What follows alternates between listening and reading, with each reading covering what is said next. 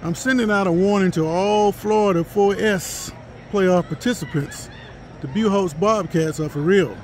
That score you see behind me is 49 to nothing. That is your score at half.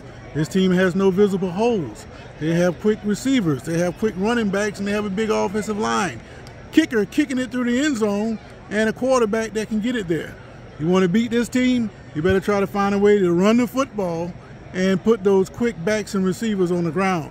Otherwise, it's going to be just like it is tonight.